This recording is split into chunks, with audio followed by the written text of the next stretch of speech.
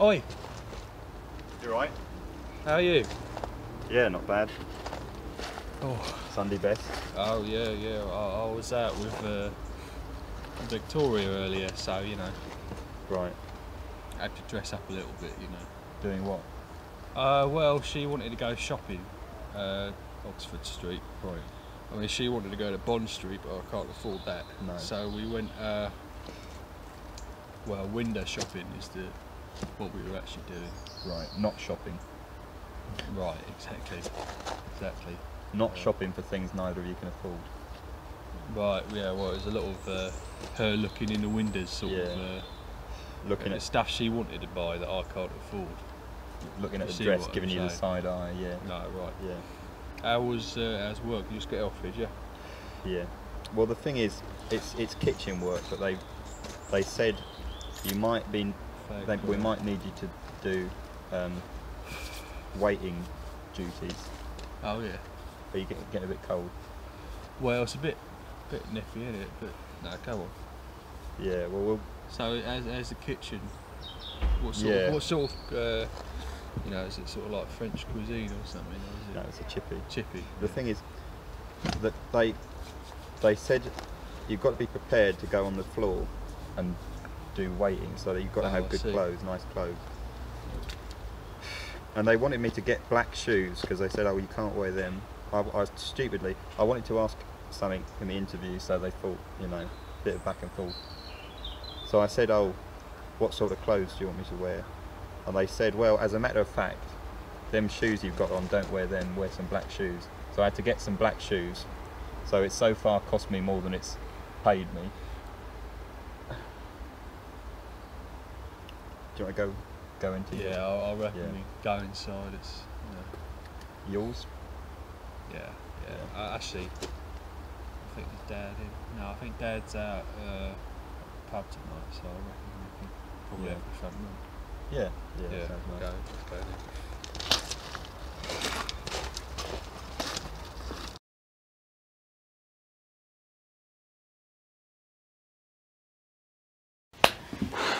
Blimey, it's cold out there, isn't it? Yeah. Fingers have gone all numb. Yeah. I, I've been working in the kitchen all day, so I'm not used to No, no, no baggy left. uh, probably just as well because, uh, Why? well, uh, before you showed up, I was got through about three fags. Just there. Yeah, just outside, just there. Why is that? Oh, grim day at work. Didn't want to sit inside. Well, I, I was on my way back. You know, I got on the bus, Yeah. and uh, the bus only went and stopped two stops too early from my house. Oh right. So I thought, you know, walk back through the park. Nice. Yeah, mean, Stroll. you know, a nice evening walk or something, get a bit of a walk um, uh, yeah, well, it's just a bit of a miserable day at work. Oh yeah. Yes, well, uh, you know, you, you know, I was sort of uh, working on the assembly line, Mm. so that's sort of uh, putting all the car parts together and that. And uh, today, I, I was going a little bit slowly. I was sort of going behind everyone else. So, uh, so uh, the line manager comes up, and he sort of says, uh, "Hurry up, or I'm going to have to let you go." What? Let you go? Yeah, Oh. for sake. he's a That's that's harsh. That. Well, the thing is, I, I've been working here about a year. So you're trained up yeah, as well. I mean, I probably could do his job better than he can, you know. I should say. You can certainly do your job better than you And can, he, uh, or better than some new run coming in can. Yes, I well, I bet for a minute there, I was sort of, you know, getting getting ready to to uh, Just show him what for. yeah, getting ready to thump him or something. I was sort of thinking, uh, what's your game, mate? Yeah. And uh, well, you know, I'd, I'd get kicked off a lot if I did that. So, you know. well, you'd get kicked off with Well, it's- it's one of those dignity. Things, one of those things where in the in the moment you're sort of a bit heated. Did you say anything? Uh, no, I, I put put my head down, got back to work. That's all I could do really. That's it. Yeah, I was, uh, so it's My not. my granddad used to say, "There's no use being right if you're under a bus." You know what I mean? Yeah. Like, it's all Yeah. well and good. He deserved, you know, to be told, you know, where to go. Well, the thing is, he's not even the foreman. No He's not even running the factory, and he's at you know. ideas above his station. You know what I Right. You know right. what I mean? Is he one of one of them that sort of talks like a Ponce kind of thing? Oh, he, he's yeah, he's uh, well, he's not too bad, but the um, foreman, he's a right character. Yeah. Have I, I told you about him before? I don't know. He's uh, well, he's he's a, he's a bit old for the job, really. I Oh, the think. bald bald bloke. No, no, bald bloke is uh, Barry, is the bloke I work Oh, right. next to. I'm talking about the the boss, Right. the manager of the factory. Uh, he's very sort of. Uh, get back to your get back to your stations. Get back to you know. get back to I work. I remember there's this one time, uh, absolutely classic, where Barry, I was, I was Yeah. talking about, he, uh, it was in the, uh, having lunch break, and the, um, the foreman's in there having a sort of ham sandwich, Right. ham sandwich in his water, and, uh, Barry comes up to him and nicks half What sandwich off his off plate. in front of him? So, Bring that back here. Like, Bring back the ham like a- sandwich. yeah, I've known I've known people running off down the down the. Uh, sort of just in at the second anything happens, like, what are you doing? yeah, he doesn't like being challenged. I mean, he he came that close to letting letting Barry go and walk home at the end of that day, but he. Someone that well trained, and he Wow, yeah, loose right. cannon, what can you do? trigger happy. A lot of them, Right. by the sound of it. Uh, yeah. So, kitchen job's not going. It, it How yeah. long do you think you'll stay on there for? I don't know. Not not a year. It's not a chippy. It's more of a calf. But it. when I come in, they Yeah. in in the interview they say, well, it's ki- you it's kitchen work, but you'll have to do sort of you might have to do waiting work because there's not you know enough waiters and that. So Well, I thought that, that was more of a more of a bird's job, wasn't it? well, I mean, I'm surprised they have you in the kitchen coming out, waiting the tables. I thought they want something Well- nice to look at. they pref- well, what are you saying? What's that? no, not, not against you, mate. I'm no, just no, I know, you know. I know, I know. But it, well, I, I don't think I'm going to do it. I just think they, they they were saying, "I'll bring nice clothes," you know. So I bought, I borrowed this off Johnny. I, I'm, I'm gonna, I'm gonna stay there about two weeks, sort of work out whether they're actually going to need me on waiting tables and that, and then I'll get one myself if if they ask me to do it once. But but it, you know, it don't look like they're going to ask me to do it. So it's, you know, Wasn't you uh, what in a flower shop or something? no, I never. No. No, No, that was Johnny. that was oh, Yeah. yeah. That might be why he bought this. Come to think of it. Yeah. No. Victoria's been giving me an earful lately. Oh yeah. Well, it's going, it's going all right and everything. It's just, uh, always wanted to buy a new necklace or Right. a new dress, and it's all, you know, I do the best I can, but I've got, you know, by the time I pay my mum and dad, uh, What keep? yeah, I've you know, barely got a couple bob to be named. Yeah. I heard your mum the other day Oh yeah. before you come out with me. She was pestering you about.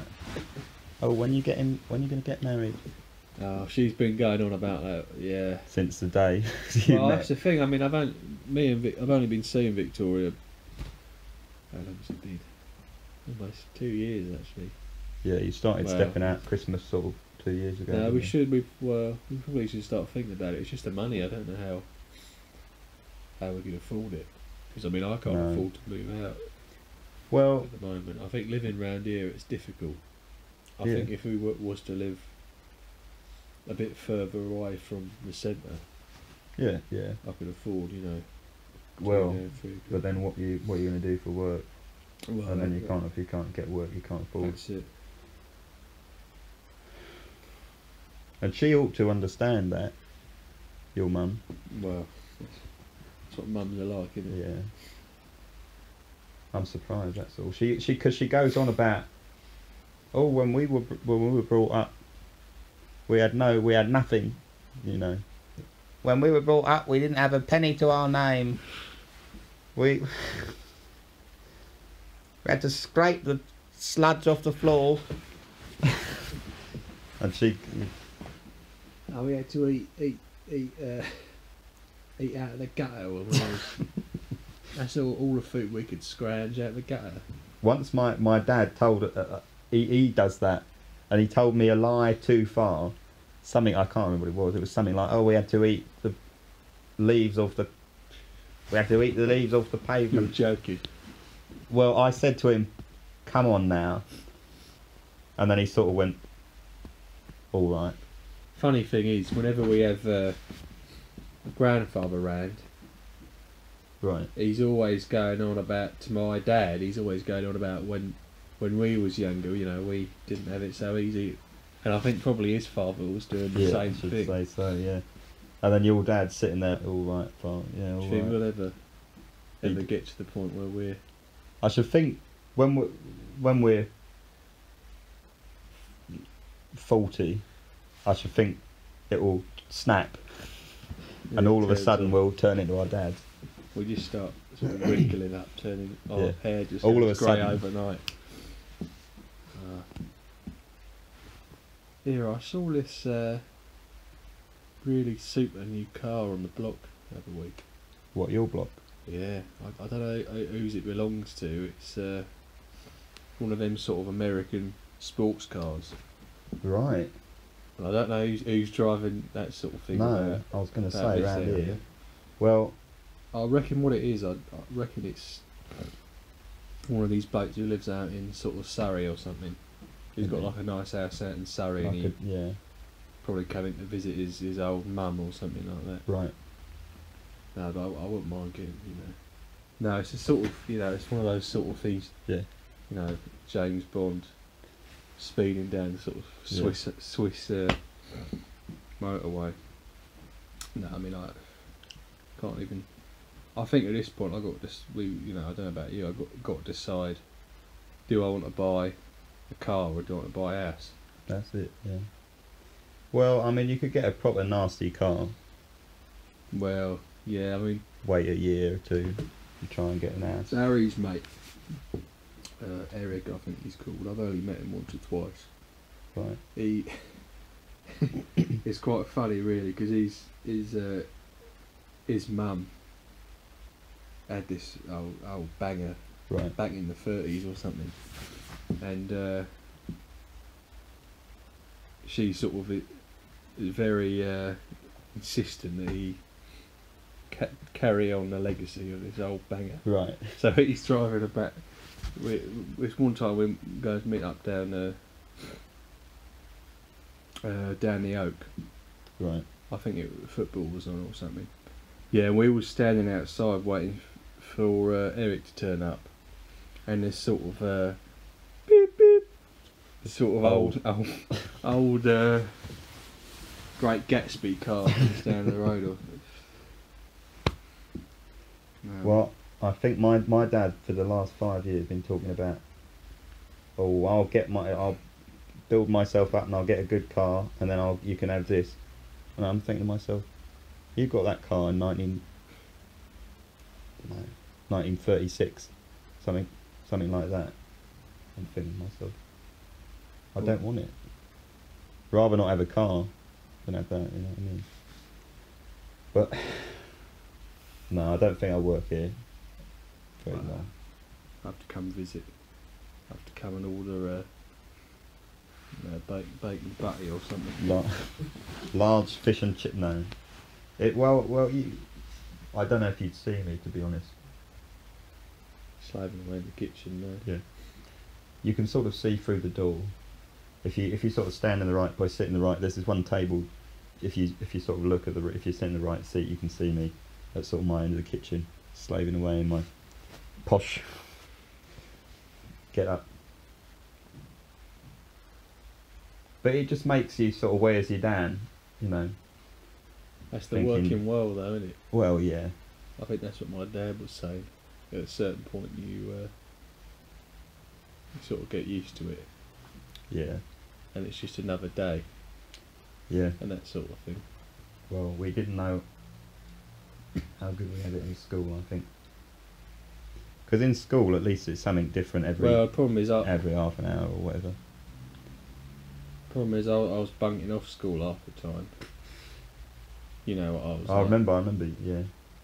But uh, no, I do. You know, I do miss the teachers a bit. I don't miss I the. if uh, I miss the teachers. I don't miss the cane. I'll say that. No, much. well, well, well. Wait till if the foreman starts caning you, then I think Well- I think you, Well, he saves that for Probably. his missus. should say so. The sound of him actually. He's one of those types. Yeah. I think my dad's finished uh, watching the news. If you want to go downstairs now. Yeah, can do.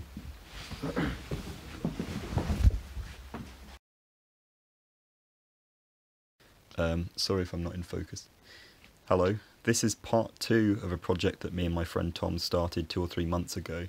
And the, the aim of the project is to create a genuinely naturalistic conversation from the mid 60s from southeastern England. And originally we were thinking of somewhere in the kind of um, Surrey area, which is where we live. Um, but we've changed the geographic focus to maybe somewhere around sort of Sidcup or Bexleyheath because a lot of people pointed out rightly that um, the traditional dialects of Surrey and Essex and places like that were still going fairly strong in the mid 60s, whereas they've now almost kind of disappeared, at least in, in urban centres. So we went for somewhere where the kind of speech we were going for might be a bit more natural. And we got far more comments than we expected from people who remember the mid 60s, um, which were extremely helpful. And we're sorry that we can't go over all of them here. Um, but I thought I'd just go over a selection of them um, because I, I think they're quite interesting. And I'd really encourage people to um, click the link in the description to that video and read through the comments if they're interested in this kind of thing as well. So, in no particular order, an account called Chip Cobb. I'm looking at my phone, that's why I'm looking down. S- sorry if that's um, not not very engaging. But an account called Chip Cobb mentions spinning conversations where people would describe conversations in terms of like he turned round and said, and then I turned round and said this, and that kind of reminds me of something from Derek and Clive sketches, Peter Cook and Dudley Moore um, sketches, where not so much the spinning metaphor, but they'd say things like he come back with this, and I come back with this. Um, so that that sort of that way of framing a conversation when you're re- recounting a conversation to someone. Um, so I thought that was interesting. An account called Sawn George makes the interesting point that the plural of pound was often just pound in situations where you were saying like it cost three pound, um, and that's that's similar. I think usage of that is similar among people my age nowadays. So you'd be more likely to say um, it costs three pound than it costs three pounds. Um, although, having said that, Mark Brierly said the opposite. So he said that if they did use pound, then they'd normally pluralise it, um, but that often quid was used instead of pound. And that money terminology thing is something that a lot of people pointed out. Um, they pointed out there was a lot of slang for pre-decimalize, uh, pre-decimalisation money, so like Tanner and Bob and things like that. Um, Thomas Evans uh, said that he was 70, uh, he's 78 now, or when he watched the video, and he said that we captured the time well, but uh, again, that quid was more likely than pound. And he said that a couple of bob was a way of expressing that you didn't have much money. Um, and Birchall, uh, Tom incorporated that into this, this uh, recording at one point. Um, John Green was 20 in 1965, and he pointed out that if somebody used an educated sounding word, um, then it would be pounced on and mocked. And I think that a lot of people pointed out that I used a few words which a working class person probably wouldn't use, like initiate and um, specification and stuff like that. And also that my accent in general was a bit bit too RP, or it sounded a bit too put on, whereas Tom Tom's was more accurate. Um, so I've I've gone for um, I've gone gone in on the accent a little bit more this time, but I'm sorry if it's still not quite there. Um, and uh, a thing we did that kind of lines up with John Green's comment is that we kind of took the piss out of people that were sort of older and spoke in a posher way than us. Um, so, for example, our parents or uh, the foreman. Um, there were a couple of times that we kind of took the piss out of them um, and the way they spoke. Another thing John Green said was that working age people who still lived at home would pay their parents board, and another commenter said that they pay their parents keep, and we ended up using the word keep um, here. And then John Green said yet another thing, a very mm, good comprehensive comment, um, said that the relationship dialogue didn't ring true. And this is something that quite a lot of people said that two men probably wouldn't be talking about their relationships with women in, in that kind of open way. Um, and that they they maybe wouldn't speak as respectfully about women um, and that um, in- interestingly this we we only read this part of the comment after we'd recorded the this this second part, um, but it ended up lining up quite well with what we did. So he says that if you were with a girl for two years, then it would get you teased for wedding wedding bells kind of thing. Um, and indeed, Tom said that he'd been with Victoria for two years and that his mother was pestering him about getting married. So that that fell together quite well. Um, in terms of appearance, a few people said that we were we were sort of scruffy by mid 60s standards, we probably wouldn't have beards or long hair at that point. Um, and I, I, um, I suppose I have a, a, point of evidence for that as well, which is that my grandmother, who who's about the age these people would have been, uh, doesn't like beards at all. Um, criticizes anyone in the family who grows a beard. Um, so that that I completely believe, and the fact that my hair's too long, I completely believe. Um, we, on balance, I think, preferred not to change our appearance that much for the for the sake of a 10 minute video um, but we understand if that makes it anachronistic and sorry if that kind of ruins the immersion a little bit although hopefully it's not too far off. Hopefully um, it's, it's it doesn't break it too much. An account uh, called Bobby's All Right said that the word basically started being used more um, oh no, sorry, he he says that basically appeared in the early 1960s as a thing that people would say comically to sort of let people know not to take what they said too seriously. So that's an that's an interesting one. I, I wonder if that's because it, was seen as a a pretentious word. So you start a sentence with basically to, to sort of let people know I'm, I'm putting on a bit of a posh kind of um, you know, putting it on a bit kind of thing. Um, another thing about speech is that Lucy83060 says that starting a conversation with so is more recent, and back then so would more likely just be used as an alternative to therefore. Um, so, well, like like I was just about to do there. So we've tried to um, tried to reduce that in this conversation, although I think there are a couple of times where it was too hard to edit it edit it out because it, it was sort of too embedded in the flow of speech. Um, so it slips through a couple of times. Um, Anne Ellershaw was born in Manchester, but she says that she lived in the south for most of her adult life, and she gave some good advice on pricings, which a few other people gave as well. So she says until the early 60s, she'd never spent more than five quid on a coat, uh, or sort of three to five quid for shoes.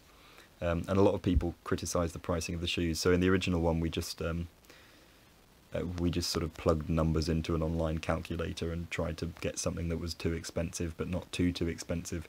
Um, and clearly we, we we missed the mark. Um, so I think we were kind of relying on people's comments to tell us whether the shoe prices were accurate. Um, so thank you to everyone who, who advised us on that. Um, the whole premise of the, the shoe thing a lot of people said was a bit off because for one thing, a, a, a, workplace like that would never tell you to um, get a specific make of shoes, and they they pointed out that make you refer to a make of shoes rather than a brand of shoes. Um, so we we reduced the shoe thing because the premise of it seems seems like it was a bit off. Um, somebody who I think their name is pronounced Kieran pointed out that Tom would have had conversations about pay rises uh, with his union rep and not his foreman, so we left out a, a lot of the pay stuff. Um, an interesting thing that this person said, and if I try to pronounce their name, I'm worried I'll get it wrong, uh, but they say that um, shoes were priced in shillings even if they were worth more than a pound, which is probably something obvious to people alive at the time that I, I didn't know myself. So they give the example of shoes maybe being 79 and 11, which I would have assumed was worded £3.19 and 11, but apparently you'd actually give that amount in shillings rather than pounds, so that's an interesting, interesting fact. Um, a few people said that they don't remember the F word being thrown around that much in casual conversation, um, so I think we I don't think we use it in this recording, although I we might have let it slip through once. Um, so that's people like Michael Newton and Mark Robbins. Um, and also an account called Lynn Loves Roses agrees that, that she, she didn't really hear people using the F word very much. Um, she also said that she never knew anyone who rolled their own cigarettes. And this is a contentious point because I I have relatives of that age who who said most people rolled their own cigarettes and either they'd use a roach or um, or no filter at all and they just have paper and tobacco. On the other hand, there are people in the comments who said that they never saw roll up cigarettes and even people who didn't have much money bought pre rolled ones. So we ended up using um, roll ups because that's sort of we between us well I I had some papers from a friend and I had some tobacco in a tin, and I didn't want to buy a pack of pre-rolled cigarettes, so so we just used that on the basis that some people had said it was accurate. So at least in some areas it must have been happening. Um, a couple of people, um, including that Lynn Loves Roses account, um, said that jobs were quite easy to come by. So discussions about difficulty finding jobs might be less accurate. Um, and I think the only time we mention it in the in, in this recording was um, in reference to if you were living further from the centre, then you might have a harder time finding a job. So maybe even that's not accurate. Um, but yeah, it's interesting. Apparently, jobs were much much easier to come by. Um, what else? a counterpoint to the not much swearing thing is that Steve Bray says that our recording didn't have as much swearing as he would expect. So clearly, in some circles, people were swearing a bit more. And uh, finally, um, we were wondering about whether to use the word yeah as an alternative to yes. And different people commented different things on this, but something that popped up a few times was that people didn't say yeah, um, or people sort of after their mid 20s didn't say yeah with the, the long air sound that I use, so I use the same vowel as I'd use in air or squared, but they said yes with the short air, but in a way that kind of reduced or omitted the s from the end. So me and Tom tried at the start to go more with yeah than yeah, um, although I think that this is probably the thing we did um, most sloppily on because it's um, there are, are quite a lot of times through the video where I think maybe we say the air sound for a bit too long. Um, yeah, and I think that's pretty much most of the feedback I was going to go over. One account called G Yorkshire pointed out that it would be very strange for someone to go and ask their boss for more money than their mates were making. So whether that would show a sort of lack of camaraderie or, or something like that. Um, and also that you'd go through a shop steward rather than asking management yourself. So that lines up with something other people have said. So um, yeah, we we ended up changing quite a lot of the topics um, because the the basis of the topics was was was faulty.